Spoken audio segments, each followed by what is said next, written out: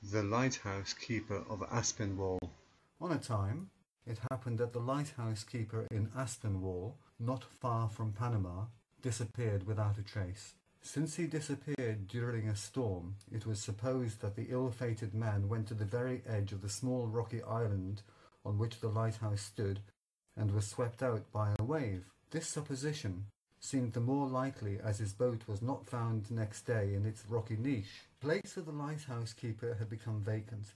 It was necessary to fill this place at the earliest moment possible, since the lighthouse had no small significance for the local movement as well as for vessels going from New York to Panama.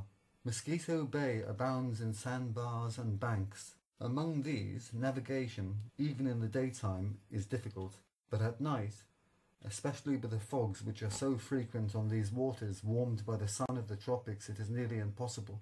The only guide at that time for the numerous vessels is the lighthouse. The task of finding a new keeper fell to the United States consul living in Panama, and this task was no small one. First, because it was absolutely necessary to find the man within twelve hours. Second, the man must be unusually conscientious it was not possible, of course, to take the first comer at random. Finally, there was an utter lack of candidates. Life on a tower is uncommonly difficult, and by no means enticing to people of the South who love idleness and the freedom of a vagrant life. The lighthouse keeper is almost a prisoner. He cannot leave his rocky island except on Sundays.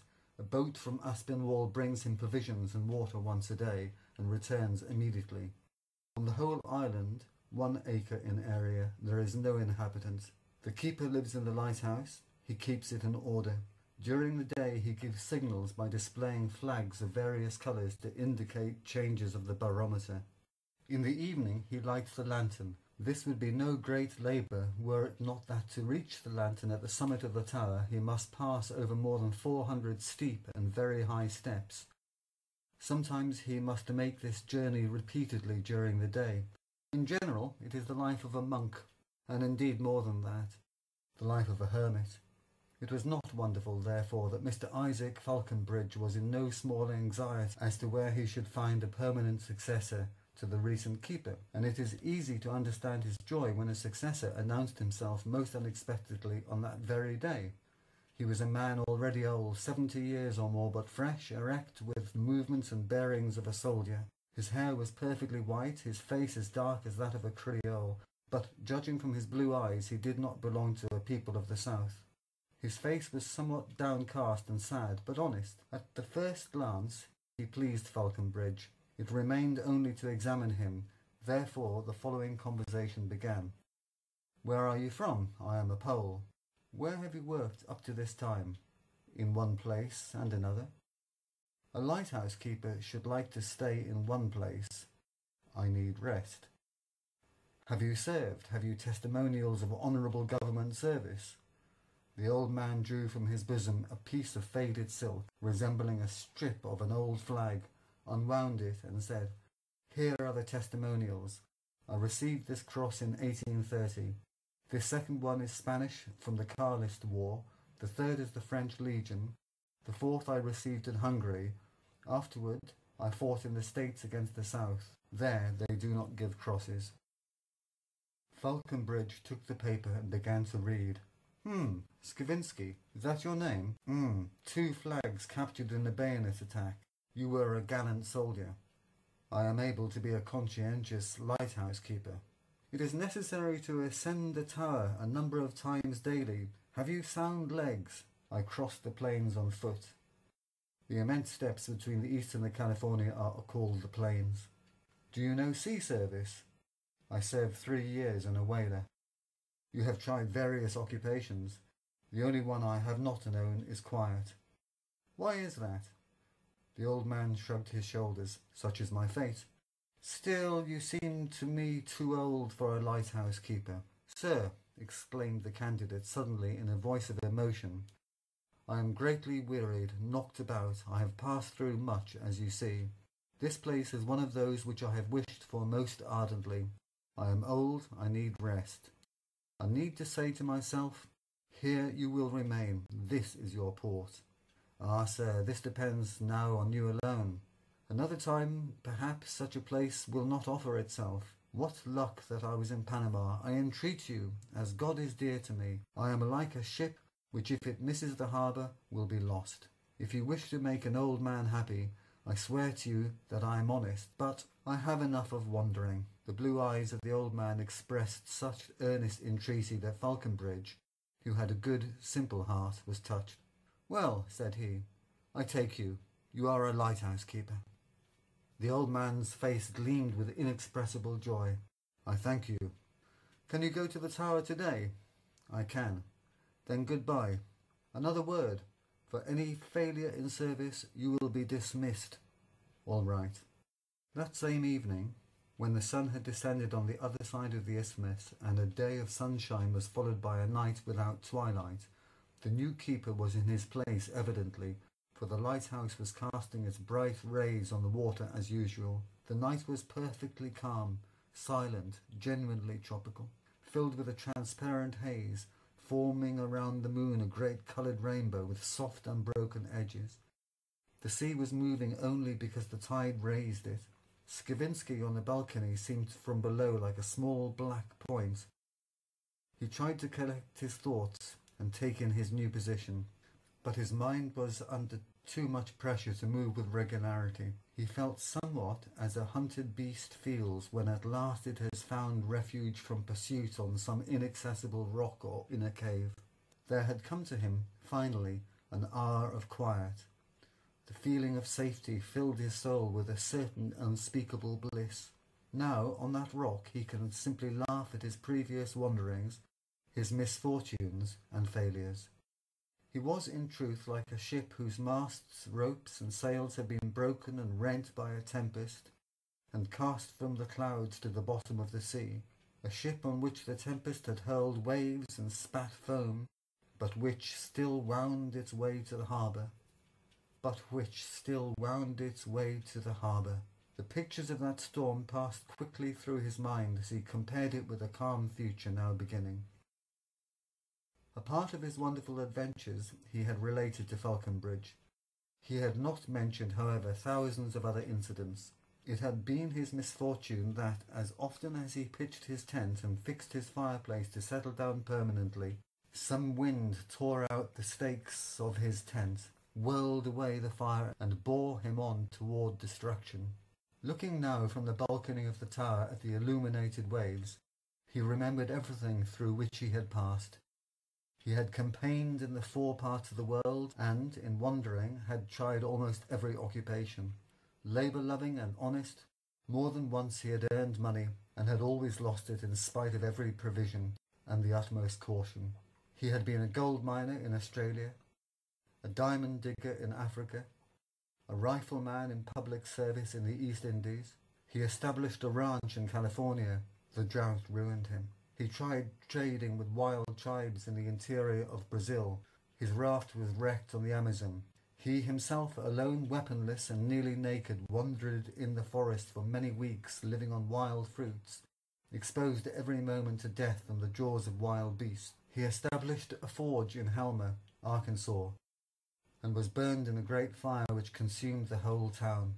Next, he fell into the hands of Indians in the Rocky Mountains, and only through a miracle was he saved by Canadian trappers.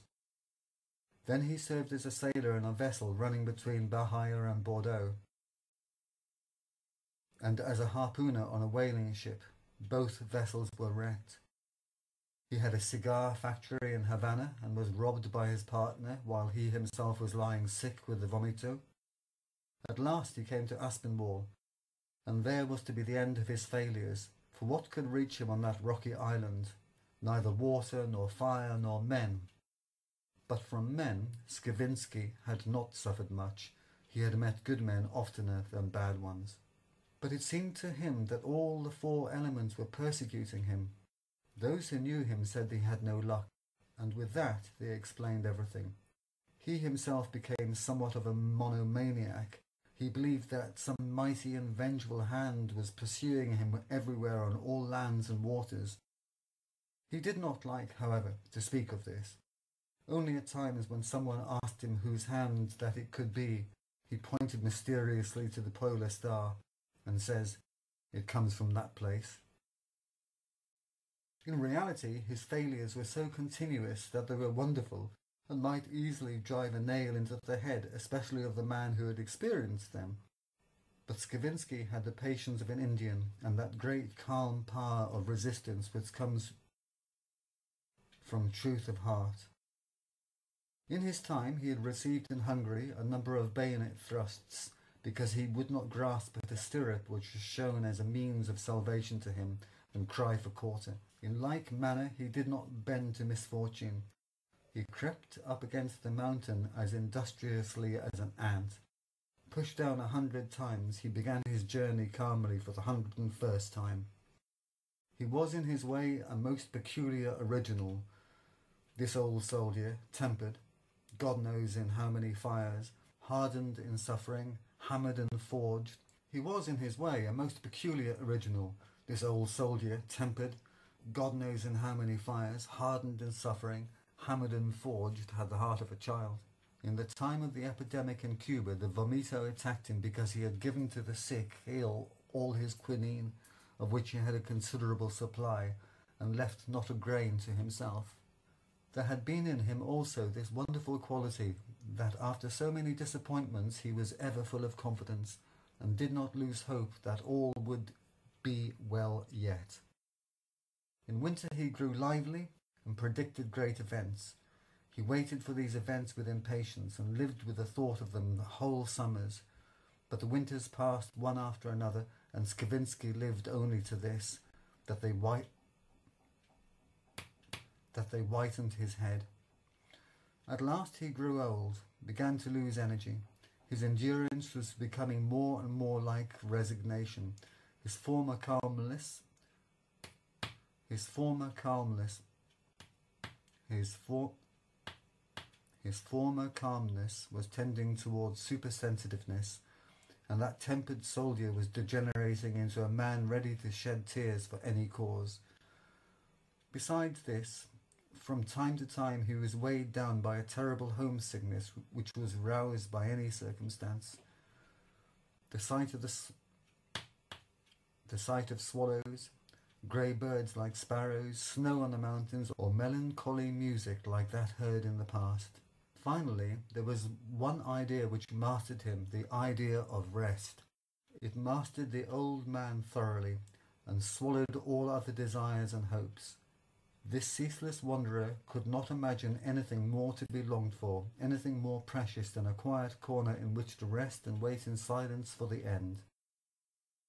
Perhaps especially because some whim of fate had so hurried him over all seas and lands that he could hardly catch his breath, did he imagine that the highest human happiness was simply not to wander. It is true that such modest happiness was his due, but he was so accustomed to disappointments that he thought of rest as people in general think of something which is beyond reach. He did not dare to hope for it. Meanwhile, unexpectedly, in the course of twelve hours he had gained a position which was as if chosen for him out of all the world. We are not to wonder, then, that when he lighted his lantern in the evening he became, as it were, dazed that he asked himself if that was reality, and he did not dare to answer that it was. But at the same time, reality convinced him with incontrovertible proofs. Hence hours one after another passed while he was on the balcony. He gazed and convinced himself. It might seem that he was looking at the sea for the first time in his life.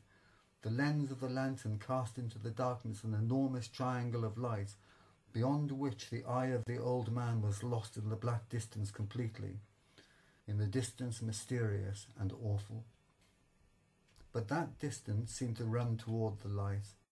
The long waves following one another rolled out from the darkness and went bellowing toward the base of the island. And then their foaming backs were visible, shining rose-coloured in the light of the lantern, the incoming tide swelled more and more and covered the sandy bars. The mysterious speech of the ocean came with a fullness more powerful and louder, at one time like the thunder of cannon, at another like the roar of great forests, at another like the distant dull sounds of the voices of people. At moments it was quiet, then to the ears of the old man came some great sigh, then a kind of sobbing, and again threatening outbursts. At last the wind bore away the haze, but brought back broken clouds which hid the moon. From the west it began to blow more and more. The waves sprang with rage against the rock of the lighthouse, licking with foam the foundation walls. In the distance a storm was beginning to bellow. On the dark, disturbed expanse certain green lanterns gleamed from the masts of ships. Those green points rose high and then sank. Now they swayed to the right and now to the left. Skavinsky descended to his room. The storm began to howl. Outside, people on those ships were struggling with night, with darkness, with waves. But inside the tower it was calm and still. Even the sounds of the storm hardly came through the thick walls, and only the measured tick-tack of the clock lulled the weary old man to his slumber. Hours, days, and weeks began to pass. Sailors assert that sometimes when the sea is greatly roused, something from out of the midst of night and darkness calls them by name. If the infinity of the sea may call out thus, perhaps when a man is growing old, calls come to him too from another infinity still darker and more mysterious. And the more he is wearied by life, the dearer are those calls to him, but to hear them quiet is needed. Besides, old age loves to put itself aside as if with a foreboding of the grave. The lighthouse had become for Skavinsky such a half-grave. Nothing is more monotonous than the life on a beacon tower. If young people consent to take up this service, they leave it after a time. Lighthouse keepers are generally men not young, gloomy, and confined to themselves. If by chance one of them leaves his lighthouse and goes among men, he walks in the midst of them like a person roused from a deep slumber. On the tower there is a lack of minute impressions which in ordinary life teach men to adapt themselves to everything. All that a lighthouse keeper comes in contact with is gigantic and devoid of definitely outlined forms. The sky is one whole, the water is another, and between those two infinities the soul of man is in loneliness. That is a life in which thought is continual meditation, and out of that meditation nothing rouses the keeper, not even his work. Day is like day as two beads in a rosary, unless changes of weather form the only variety. But Skavinsky felt more happiness than ever in life before. He rose with the dawn, took his breakfast, polished the lens, and then, sitting on the balcony, gazed into the distance of the water, and his eyes were never sated with the pictures which he saw before him. On the enormous turquoise ground of the ocean were to be seen generally flocks of swollen sails gleaming in the rays of the sun so brightly that the eyes were blinking before the excess of light. Sometimes the ships, favoured by the so-called trade winds, went in an extended line one from another, like a chain of sea mews or albatrosses. The red casks indicating the channel swayed on the light wave with a gentle movement. Among the sails appeared every afternoon gigantic greyish feather-like plumes of smoke. That was a steamer from New York which brought passengers and goods to Aspinwall, drawing behind it a frothy path of foam. On the other side of the balcony Skavinsky saw, as if on his palm, Aspinwall and its busy harbour, and in it a forest of masts, boats, and craft. A little farther, white houses and the towers of the town.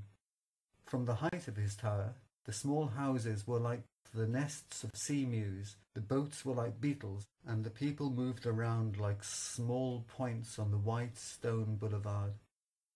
From early morning, a light eastern breeze brought a confused hum of human life above which predominated the whistle of steamers. In the afternoon, six o'clock came. The movement in the harbour began to cease. The mews hid themselves in the rents in the cliffs. The waves grew feeble and became in some sort lazy. And then on the land, on the sea, and on the tower came a time of stillness unbroken by anything. The yellow sands from which the waves had fallen back glittered like golden stripes on the width of the waters. The body of the tower was outlined definitely in blue. Floods of sunbeams were poured from the sea on the water and the sands and the cliff. At that time a certain lassitude full of sweetness seized the old man. He felt that the rest which he was enjoying was excellent, and when he thought it would be continuous nothing was lacking to him. Skavinsky was intoxicated with his own happiness, and since a man adopts himself easily to improved conditions, he gained faith and confidence by degrees. For he thought that if men built houses for invalids, why should not God gather up at last his own invalids? Time passed and confirmed him in this conviction. The old man grew accustomed to his tower, to the lantern, to the rock, to the sandbars, to solitude. He grew accustomed also to the sea mews which hatched in the crevices of the rock, and in the evening held meetings on the roof of the lighthouse. Skavinsky threw to them generally the remnants of his food, and soon they grew tame, and afterward, when he fed them, a real storm of white wings encircled him, and the old man went among the birds like a shepherd amongst sheep. When the tide ebbed, he went to the low sandbanks on which he collected savoury periwinkles and beautiful pearl shells of the nautilus, which receding waves had left on the sand. In the night, by the moonlight and the tower, he went to catch fish, which frequented the windings of the cliff in myriads. At last he was in love with his rocks and his treeless little island, grown over only with small thick paths exuding sticky resin. The distant views repaid him for the poverty of the island, however. During afternoon hours, when the air became very clear, he could see the whole isthmus covered with the richest vegetation. It seemed to Skavinsky at such times that he saw one gigantic garden, bunches of cocoa, and an enormous musa combined, as it were, in luxurious tufted bouquets. Right there behind the houses of Aspinwall, Farther on, between Aspinwall and Panama, was a great forest over which every morning and evening hung a reddish haze of exhalations, a real tropical forest with its feet in stagnant water, interlaced with the lianas and filled with the sound of one sea of gigantic orchids, palms, milk trees, iron trees, gum trees. Through the field glass, the old man could see not only trees and the broad leaves of bananas, but even legions of monkeys and great marabous and flocks of parrots, rising at times like a rainbow cloud over the forest. Skavinsky knew such a forest well, for after being wrecked on the Amazon, he had wandered whole weeks among similar arches and thickets. He had seen how many dangers and deaths lie concealed under those wonderful and smiling exteriors. During the nights which he had spent in them, he heard close at hand the sepulchral voices of howling monkeys and the roaring of the jaguars. He saw gigantic serpents coiled like lianas on trees. He knew slumbering forest lakes full of torpedo fish and swarming with crocodiles. He knew under what a yoke man lives in those unexplored wildernesses in which are single leaves that exceed a man's size ten times. Wildernesses swarming with blood-drinking mosquitoes, tree leeches, and gigantic poisonous spiders. He had experienced that forest life himself, had witnessed it, had passed through it.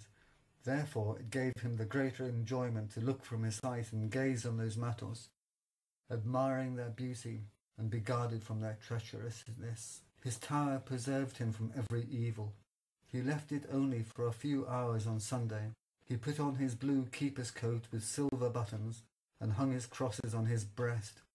His milk-white head was raised with a certain pride when he heard at the door, while entering the church, the Creoles say among themselves, We have an honourable lighthouse keeper and not a heretic, though he is a Yankee.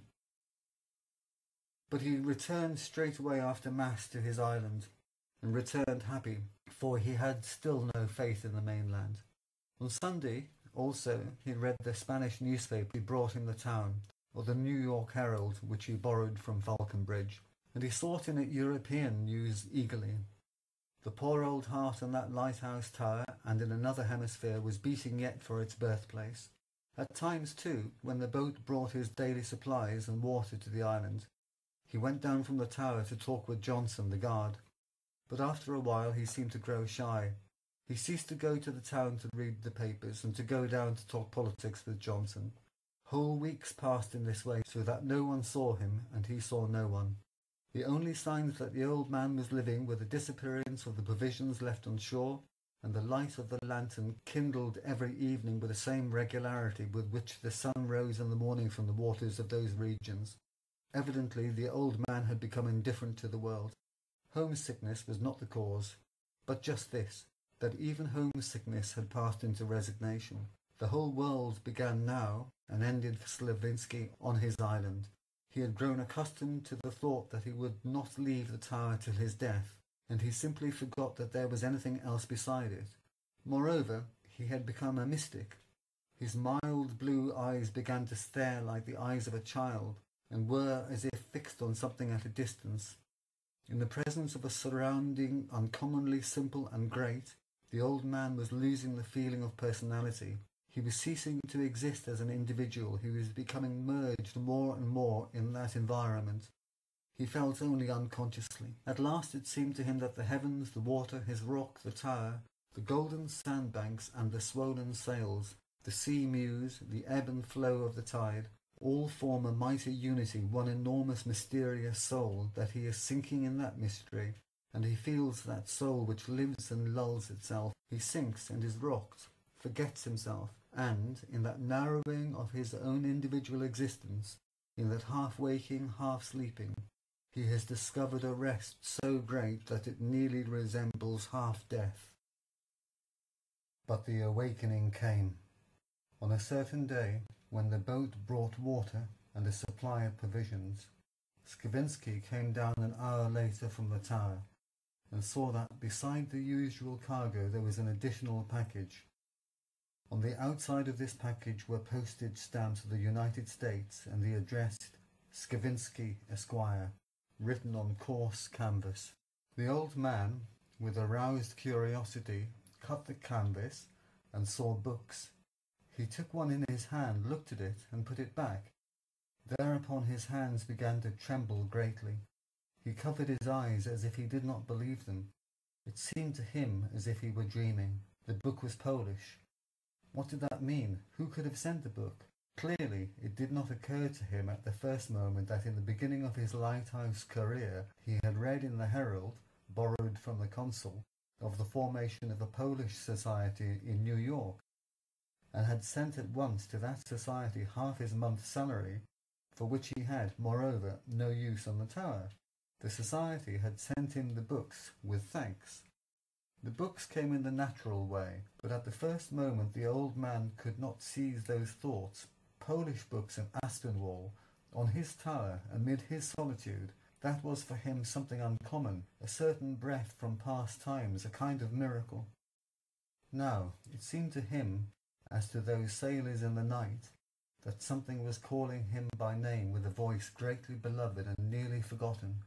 He sat for a while with closed eyes, and was almost certain that, when he opened them, the dream would be gone, shone upon clearly by the afternoon sun, and on it was an open book. When the old man stretched his hand towards it again, he heard in the stillness the beating of his own heart. He looked. It was poetry. On the outside stood printed in great letters the title, underneath the name of the author. The name was not strange to Skavinsky. He saw that it belonged to the great poet Mickiewicz, whose productions he had read in 1830 in Paris. Afterward, when campaigning in Algiers and Spain, he had heard from his countrymen of the growing fame of the great seer. But he was so accustomed to the musket at that time that he took no book in hand. In 1849 he went to America, and in the adventurous life which he led he hardly ever met a Pole, and never a Polish book. With a greater eagerness, therefore, and with a livelier beating of the heart, did he turn to the title page. It seemed to him then that on this lonely rock some solemnity is about to take place. Indeed, it was a moment of great calm and silence. The clocks of Aspinwall were striking five in the afternoon, not a cloud darkened the clear sky. Only a few sea mews were sailing through the air. The ocean was as if cradled to sleep. The waves on the shore stammered quietly, spreading softly on the sand. In the distance the white houses of Aspinwall and the wonderful groups of palm were smiling. In truth, there was something there solemn, calm, and full of dignity.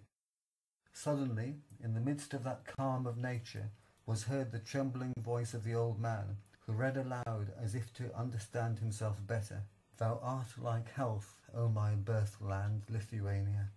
How much we should prize thee, he only can know who has lost thee. Thy beauty in perfect adornment this day I see and describe, because I am yearning for thee. His voice failed Skavinsky. The letters began to dance before his eyes. Something broke in his breast and went like a wave from his heart higher and higher, choking his voice and pressing his throat. A moment more, he controlled himself and read further. O holy lady, who guardest bright Chernostova, who shinest in Ostrobrama and preservest the castle town of Rojek with its trusty people, as thou didst give me back to health in childhood, when by my weeping mother placed beneath thy care, I raised my lifeless eyelids upward and straightway walked into thy holy threshold, to thank God for the life restored me. So, by our wonder, now restore us to the bosom of our birthplace. The swollen wave broke through the restraint of his will. The old man sobbed and threw himself on the ground. His milk-white hair was mingled with the sand of the sea. Forty years had passed since he had seen his country, and God knows how many since he had heard his native speech. And now that speech had come to him itself.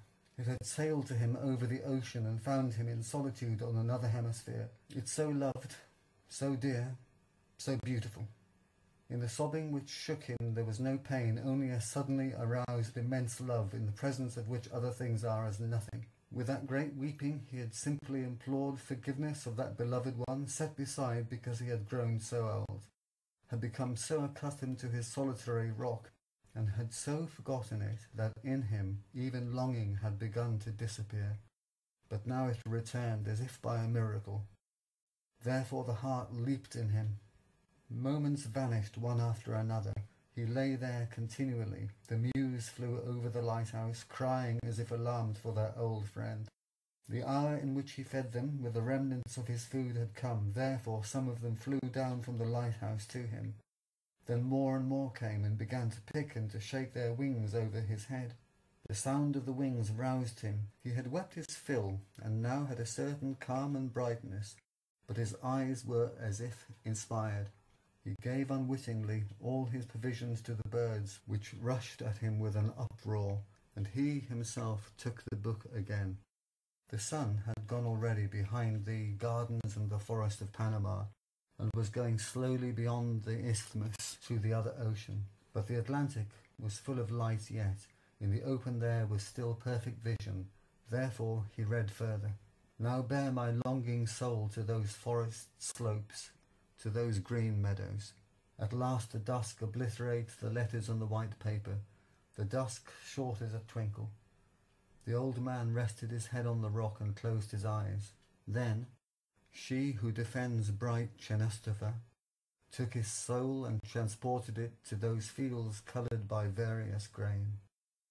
On the sky were burning yet those long stripes, red and golden, and on those brightnesses he was flying to beloved regions. The pine woods were sounding in his ears, the streams of his native place were murmuring. He saw everything as it was, everything asked him, Dost remember? He remembers. He sees broad fields, between the fields, woods and villages. It is night now. At this hour, his lantern usually illuminates the darkness of the sea, but now he is in his native village. His old head has dropped on his breast and he is dreaming. Pictures are passing before his eyes quickly and a little disorderly. He does not see the house in which he was born, for war had destroyed it. He does not see his father and mother, for they died when he was a child. But still the village is as if he had left it yesterday. The line of cottages with lights at the windows, the mound, the mill, the two ponds opposite each other, and thundering all night with a chorus of frogs. Once he had been on guard in that village all night, now that past stood before him in a series of views. He is an Uhlan again, and he stands there at guard. At a distance of the public house. He looks with swimming eyes. There is a thundering and singing and shouting in the silence of the night with voices of fiddles and bass viols. Ooh-ha, then the Uhlans knock out fire with their horseshoes in it, and it is wearisome for him there on his horse. The hours drag on slowly. At last the lights are quenched. Now, as far as the eye reaches, there is mist, the mist impenetrable. Now the fog rises, evidently from the fields, and embraces the whole world with a whitish cloud. You could say a complete ocean, but that is fields. Soon the land rail will be heard in the darkness, and the bitterns will call from the reeds. The night is calm and cool, in truth a Polish night. In the distance the pine wood is sounding without wind, like the roll of the sea. Soon dawn will whiten the east. In fact, the cocks are beginning to crow behind the hedges. One answers to another from cottage to cottage. The storks are screaming somewhere on high. The Uhlan feels well and bright. Someone had spoken of a battle tomorrow. Hi! He will go on, like the others, with shouting, with fluttering of flaglets. The young blood is playing like a trumpet, though the night cools it, but it is dawning. Already night is growing pale. Out of the shadows come forests, the thicket, a row of cottages, the mill, the poplars. The well is squeaking like a metal banner on a tower. What a beloved land, beautiful in the rosy gleams of morning. Oh, the one land, the one land. Quiet, the watchful picket hears that someone is approaching. Of course, they are coming to relieve the guard. Suddenly some voice is heard above Skavinsky. Here, old man, get up. What is the matter? The old man opens his eyes and looks with wonder at the person standing before him. The remnants of the dream visions struggle in his head with reality. At last the visions pale and vanish. Before him stands Johnson, the harbour guide. What's this? asked Johnson. Are you sick? No. You didn't light the lantern. You must leave your place. A vessel from St. Jeromo was wrecked on the bar. It is lucky that no one was drowned or you would go to trial. Get into the boat with me. You'll hear the rest of the consulate. The old man grew pale. In fact, he had not lighted the lantern that night. A few days later, Skavinsky was seen on the deck of a steamer which was going from Aspinwall to New York. The poor man had lost his place. There opened before him new roads of wandering. The wind had torn that leaf away again to whirl it over lands and seas, to sport with it till satisfied.